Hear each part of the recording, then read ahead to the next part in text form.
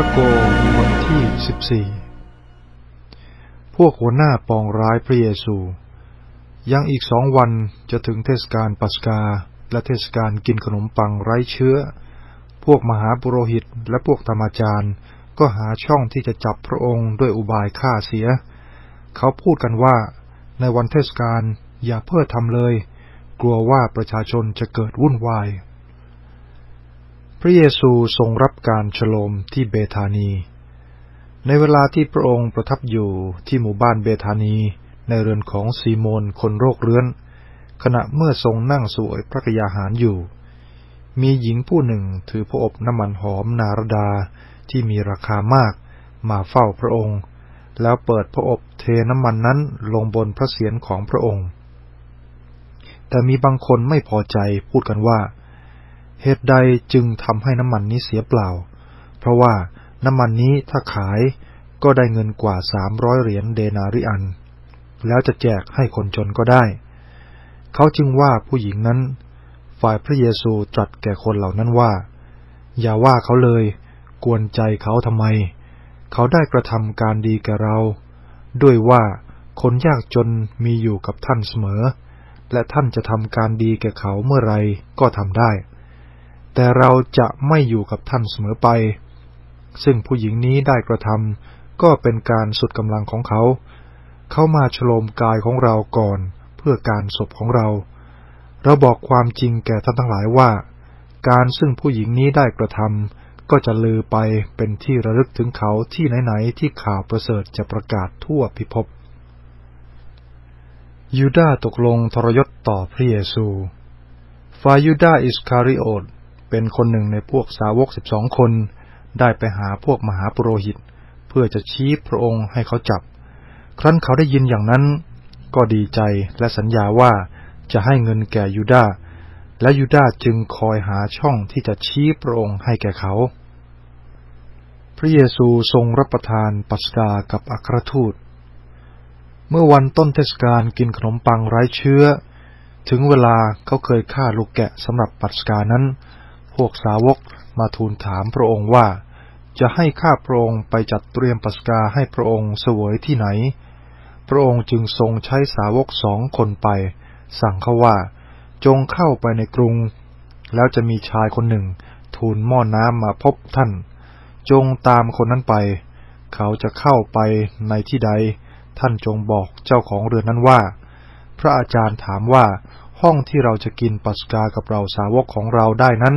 อยู่ที่ไหน เจ้าของเรือนจะชี้ให้ท่านเห็นห้องใหญ่ชั้นบนที่ตกแต่งไว้แล้ว ที่นั่นแหละ จงจัดเตรียมไว้สำหรับพวกเราเถิด สาวกสองคนนั้นจึงออกเดินเข้าไปในกรุง และพบเหมือนพระดำรัสที่พระองค์ได้ตรัสแก่เขา และได้จัดเตรียมปัสกาไว้พร้อม ครั้นถึงเวลาค่ำแล้ว พระองค์จึงเสด็จมากับสาวกสิบสองคน เมื่อกำลังนั่งรับประทานอาหารอยู่ พระเยซูจึงตรัสแก่เขาว่า เราบอกความจริงแก่ท่านทั้งหลายว่า คนหนึ่งในพวกท่านจะอายัดเราไว้ คือคนหนึ่งที่นั่งรับประทานอาหารอยู่กับเรานี่แหละ ฝ่ายพวกสาวกก็พากันเป็นทุกข์ และทูลถามพระองค์ทีละคนว่า คือข้าพระองค์หรือ พระองค์จึงตรัสตอบเขาว่า เป็นคนหนึ่งในสาวกสิบสองคนนี้ คือเป็นคนจิ้มในชามเดียวกันกับเรา เพราะบุตรมนุษย์จะเสด็จไปตามที่กล่าวไว้ในพระคัมภีร์ว่าด้วยพระองค์นั้น แต่วิบัติแก่ผู้ที่จะอายัดบุตรมนุษย์ไว้ ถ้าคนนั้นมิได้บังเกิดมา ก็จะดีกว่า สถาบันศีลมหาสนิท ระหว่างอาหารมื้อนั้น พระเยซูทรงหยิบขนมปังมา เมื่อถวายคำสาธุการแล้ว ทรงหักส่งให้แก่เหล่าสาวก ตรัสว่า จงรับเถิด นี่เป็นกายของเรา แล้วพระองค์จึงทรงหยิบถ้วยโมทนาพระคุณ แล้วส่งให้เขา เขาก็รับไปดื่มทุกคน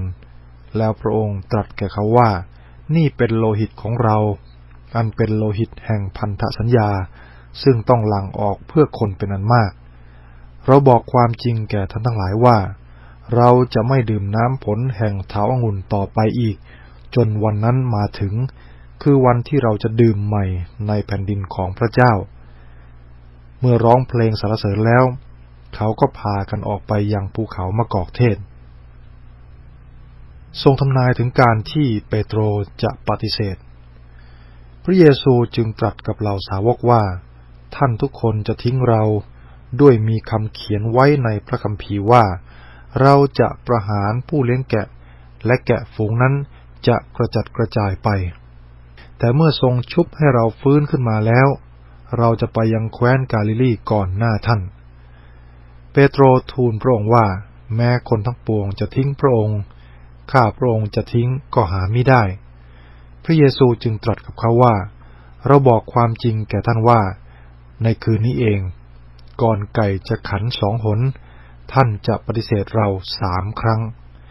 แต่เปโตรทูลแข็งแรงทีเดียวว่า ถึงแม้ข้าพระองค์จะต้องตายกับพระองค์ ข้าพระองค์ก็จะไม่ปฏิเสธพระองค์เลย เหล่าสาวกก็ทูลเช่นนั้นเหมือนกันทุกคน พระเยซูทรงอธิษฐานในสวนเกตเสมนี พระเยซูกับเหล่าสาวกมายังที่แห่งหนึ่ง ชื่อเกตเสมนี พระองค์ตรัสแก่เหล่าสาวกของพระองค์ว่า จงนั่งอยู่ที่นี่ขณะเมื่อเราอธิษฐานพระองค์ก็พาเปโตร ยากอบ และยอนไปด้วย แล้วพระองค์ทรงวิตกยิ่ง และหนักพระทัยนัก จึงตรัสกับเหล่าสาวกว่า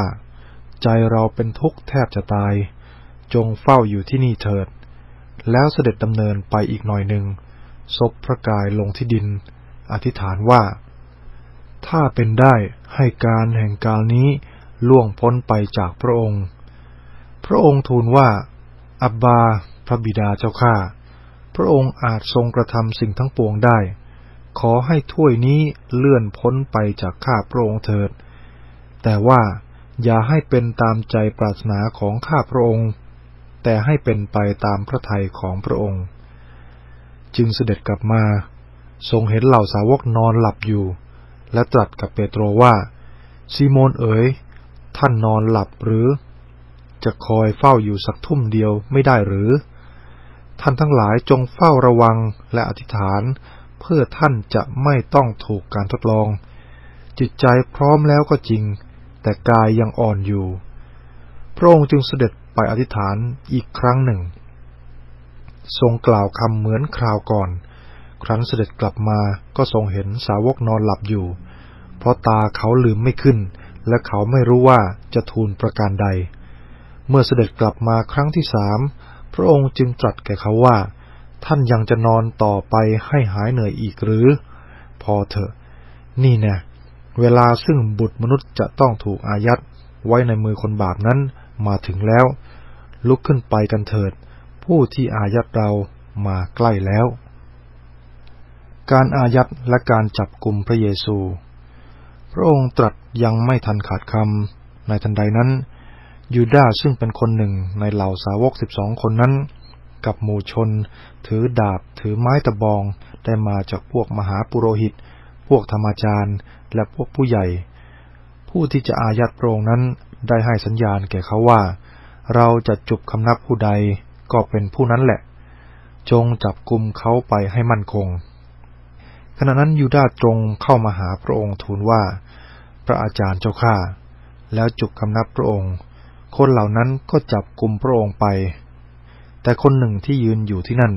ชักดาบออกฟันหูทาสคนหนึ่งของมหาปรหิตประจำการขาด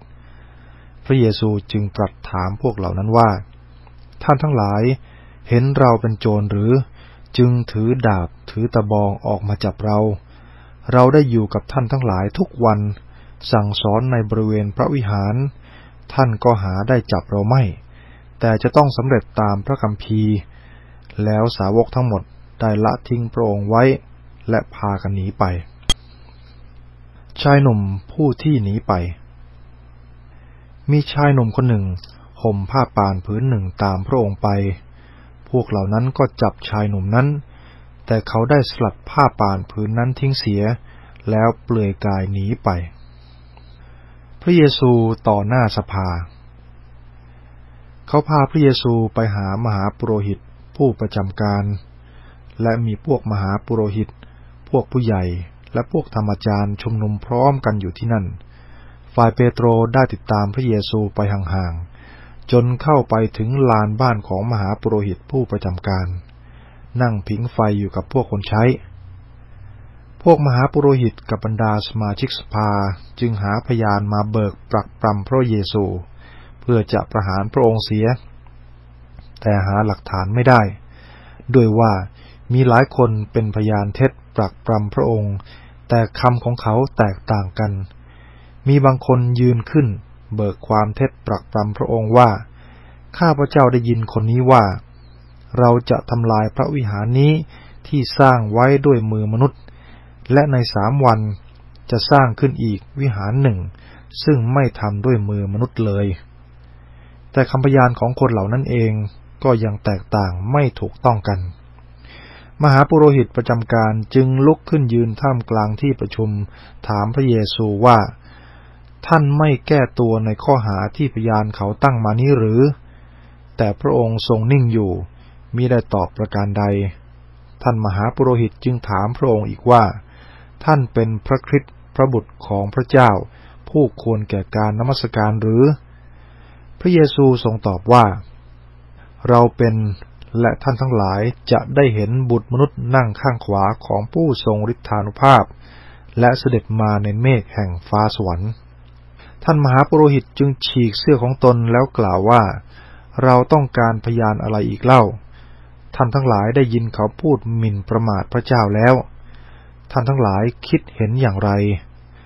คนทั้งปวงจึงเห็นพร้อมกันว่า ควรจะมีโทษถึงตาย บางคนก็ถมน้ำลายรถพระองค์ ปิดพระพักพระองค์ ตีพระองค์ แล้วว่าแก่พระองค์ว่าทำนายสิ และพวกคนใช้ก็เอามือตบพระองค์ เปโตรปฏิเสธพระเยซู ฝ่ายเปโตรเมื่อยังอยู่ที่ลานบ้านข้างล่าง มีหญิงคนหนึ่งในพวกสาวใช้ของท่านมหาปุโรหิตเดินมา เมื่อเห็นเปโตรผิงไฟอยู่ เขาเขม้นดู แล้วพูดว่า แกได้อยู่กับเยซูชาวนาซเรตด้วยเหมือนกัน แต่เปโตรปฏิเสธว่า ที่เจ้าว่านั้นข้าไม่รู้เรื่องและไม่เข้าใจ เปโตรจึงออกไปที่ประตูบ้าน อีกครั้งหนึ่ง สาวใช้คนนั้นได้เห็นเปโตร แล้วบอกกับคนที่ยืนอยู่ที่นั่นว่า คนนี้แหละเป็นพวกเขา แต่เปโตรก็ปฏิเสธอีก และอีกสักครู่หนึ่ง คนทั้งหลายที่ยืนอยู่ที่นั่น ได้ว่าแก่เปโตรว่า เจ้าเป็นคนหนึ่งในพวกนั้นแน่แล้ว ด้วยว่าเจ้าเป็นชาวกาลิลี แต่เปโตรเริ่มสบทสาบานใหญ่ว่า คนที่เจ้าว่านั้นข้าไม่รู้จัก ในทันใดนั้นไก่ก็ขันเป็นครั้งที่สอง เปโตรจึงระลึกถึงคำที่พระเยซูตรัสไว้แก่เขาว่า ก่อนไก่ขันสองหน ท่านจะปฏิเสธเราสามครั้ง เมื่อเปโตรหวนคิดขึ้นได้ ก็ร้องไห้